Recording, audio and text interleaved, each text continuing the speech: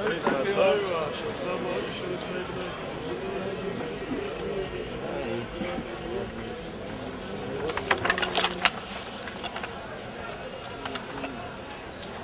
nut na binish mas namin kain in space hayenu la shiv shkela sa bisa tenu bi mer